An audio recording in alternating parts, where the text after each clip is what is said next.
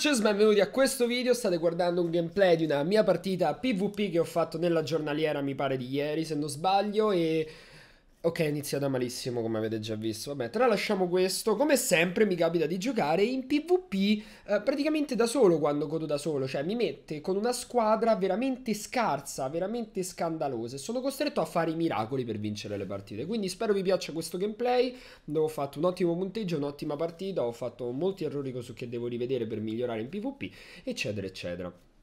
Comunque, passiamo subito alla cosa fondamentale di questo video, che è un commentary prevalentemente su Destiny e quello che sto facendo. Allora, per prima cosa voglio rispondere a un po' di domande. La prima è, perché Power non giochi più a COD?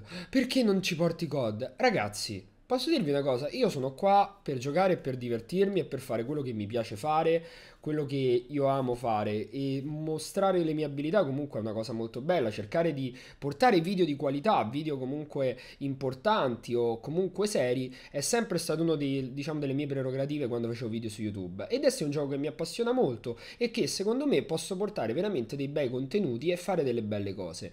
E mh, mm, il fatto che non sto giocando a COD è perché COD è un ambiente marcio, mh, mm, malato, se giocassi a COD ora non giocherei assolutamente competitive in questo momento pure perché non c'è niente da fare giocherei al massimo pubblica e sinceramente mi sono stufato dopo ben 9 mesi di Call of Duty. Um, perché non giochi competitive altre cose? Perché come vi ho sempre detto la community è diventata molto molto marcia uh, e attualmente non sembra esserci un futuro per giocare competitivamente. E, um, il motivo per cui sto giocando a Destiny è perché mi piace veramente tanto, mi appassiona veramente tanto, mi fa um, veramente divertire come gioco. Il, quello che è la mia relazione con il mio guardiano, con quella che è la mia leggenda, il fatto di uccidere personaggi di una storia che va al di là delle mie conoscenze o comunque del, della grandezza di questo mondo. Le, le, volte che mi devo andare a leggere le cose sul, nel grimorio, cioè sono cose che mi fanno impazzire, che la storia me la vado a cercare di capire da solo, parlandone con gli amici, vedendo i post su The Tower e così via. Quindi è un gioco che mi tiene veramente incollato, di cui sono felice. Mamma mia, che fel di cecchino che faccio qui.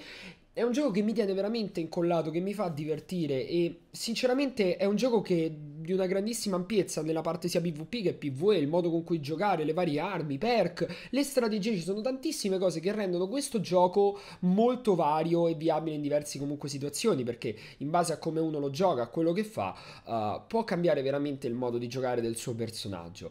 Quindi io mi sto veramente appassionando a questo gioco, a come trovare le armi, quelle migliori, quelle più belle, quelle più forti, eccetera eccetera. Quindi è per questo che gioco a questo gioco. E perché poi molta gente dice Power sei una pippa, non hai il grimorio alto, non sei nessuno, giochi da poco tempo. Io non giocherò magari da tanto tempo, ma una cosa ce l'ho che non lo dico per vantarmi, lo dico per per qualcosa, ma ho penso molta più esperienza di tantissimi giocatori che giocano a Destiny per via del mio passato o comunque di quello che faccio io all'interno del competitive, che mi rendono comunque la mia visione del gioco degli FPS comunque competitivi, li vedo in una maniera diversa. Il mio modo di giocare è diverso da quelli che sono i giocatori comunque normali della playlist Crogiolo. Ma perché questo? Io ho avuto un passato comunque di, a livello di competizioni mondiali, non parlo di torneini fatti a casa o online, parlo di essere andato a giocare a Los Angeles a quelli che erano i, i, mondiali di Call of Duty, ho fatto più di 30 LAN nella mia vita, per chi non sa cosa sono le LAN, sono tornei dove si gioca in varie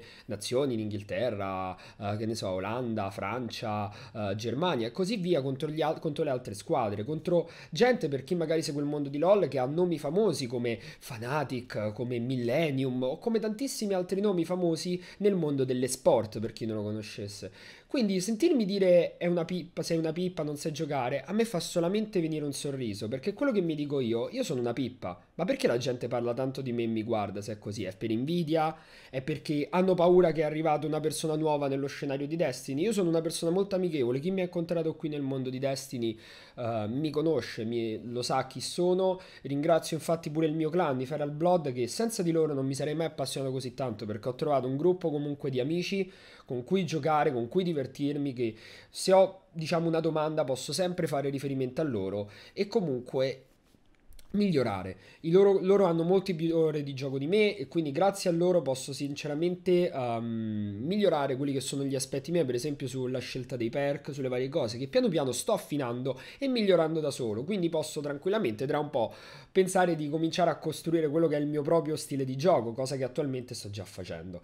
E, um, un'altra cosa uh, che voglio dire su questa cosa, su, diciamo questa cosa riguardante se è una pippa, eccetera, eccetera, è il fatto che una cosa forse è pure l'invidia delle persone che mi è capitato di vedere su Destiny. Su Destiny due tipologie, tre tipologie di persone. Il giocatore social, quello comunque che gioca in maniera social, parla, chiacchiera, um, cerca di stare collegato con gli altri utenti, eccetera, eccetera. Il giocatore, il classico giocatore wannabe invidioso, quello che si crede di essere fortissimo, di, di essere incredibile, di tritare mille persone così e poi nemmeno è riuscito ad andare al faro, magari o ci è andato tre volte in vita sua. Poi invece ci sta quella parte di giocatori che sono quelli che mi è capitato molto di vedere che sono quelli che si fanno i cosiddetti cazzi loro. E questa è la verità, si fanno i cazzi loro, non hanno bisogno di dimostrare niente a nessuno e sono quelli da cui ho imparato veramente di più, che mi hanno insegnato tantissime cose. E ehm, quello che voglio fare qui su Destiny, per chi mi chiede cosa, cosa farai, tornare su code eccetera eccetera, è continuare a giocare a Destiny, mi sta appassionando tantissimo.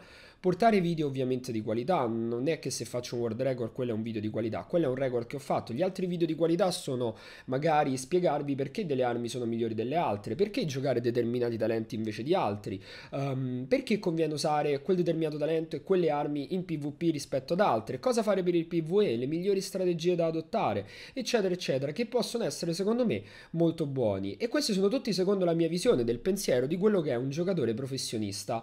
Un giocatore professionista non dico di quello of Duty perché attualmente non ci sto giocando, però è questo quello che sono. E se anche per molti di voi gli farà venire un sorriso, gli farà venire un uh, ma chi cazzo sei, ma cosa fai, sta zitto, giochi ai videogiochi, eh, io vi dico esiste questo mondo e siete voi che siete un po' chiusi perché in Italia siamo anni indietro, ma se fossi nato in un altro paese starei ancora meglio di quanto sto ora. Non guadagni abbastanza da dire questo è il mio lavoro e questo sarà il mio futuro. Ci sto provando, ma ci sto provando a far diventare anche l'esport un qualcosa di più grande qui in Italia, che attualmente nessuno lo tratta su YouTube. Il motivo per cui l'esport qui in Italia non viene molto calcolato, se non da alcuni giocatori che prevalentemente sono spettatori, non giocatori, è perché non ci sono i mezzi per avvicinarsi e diventare dei giocatori professionisti, non ci sono sono gli sponsor, non c'è la visibilità. Su YouTube c'è qualcuno tratta di sport? Poco e niente, parliamoci chiaro. Stessa cosa, la gente tutti si credono poi giocatori professionisti, magari perché prendono 20 euro al, gio- al mese, ma essere giocatori professionisti non si tratta solo di quanti soldi guadagni, non si tratta solo di quello che fai, ma si tratta veramente dell'immagine che dai di te stesso, di quello che ti poni di fare, di quello che vuoi raggiungere e mi piacerebbe vedere altri giocatori come me nascere in questo ambiente. Non parlo di Call of Duty, parlo proprio in generale, perché al momento non ci sono più organizzazioni e non ci sono più sponsor. Per chi non conoscesse le organizzazioni, sono praticamente eh, delle sorte di sponsor, di squadre che prendono i giocatori, li mettono magari sotto contratto o altre cose e li tengono um, praticamente sotto il loro nome come una squadra sportiva. Piano piano l'esport sta diventando una cosa sempre più grande sempre più seria. Um, sinceramente non mi aspettavo di vedere così tante cose. Già il CONI comunque grazie all'affiliazione con Jack, giochi elettronici competitivi. Mi dispiace che giochi elettronici competitivi però si occupi solamente di League of Legends e forse a volte di Counter Strike. Non calcoli minimamente gli altri giochi su console e su PC, una cosa secondo me sbagliatissima perché come sapete ci sono molti più giocatori su console che su PC, questo perché ovviamente le console hanno prezzi minori, poi perché tutti le comprano, tutti vogliono giocare ai giochi che ci sono su console, eccetera eccetera. Quindi sinceramente uh, lo spazio, cioè le, le, persone che ci sono su console sono tantissime, quindi è un mondo vastissimo. Specialmente una cosa che pochi magari non ci pensano è il fatto che in Europa, in America e così via esistono vere e proprie organizzazioni, veri e propri posti di lavori proprio nel gaming, sia all'interno delle software house che hanno aperto magari delle filiali proprio lì. Um, magari nella, in quella nazione, sia cose proprio riguardanti le sport, creazione di eventi, creazione di tornei, eventi comunque a livello europeo, internazionale e così via, che fanno girare soldi in questo mondo, ci creano posti di lavoro, perché quando ragazzi si fa una LAN servono gli organizzatori, servono gli arbitri, servono chi allestisce la zona del torneo, servono quelli che si occupano delle linee, servono quelli che fanno gli streaming, servono i caster e tante altre cose. Siamo arrivati comunque alla fine del video, non mi posso dilungare ancora di più, io spero vi sia piaciuto questo video, bitches, um, ho un po' di divagato, mi sa, in questo commentary. Spero vi sia piaciuto, era un messaggio che volevo far sapere a chi mi segue, a chi fa parte di questa community, a chi comunque mi supporta, a chi mi odia, a chi comunque ci segue. Io vi saluto, bitches, al prossimo video.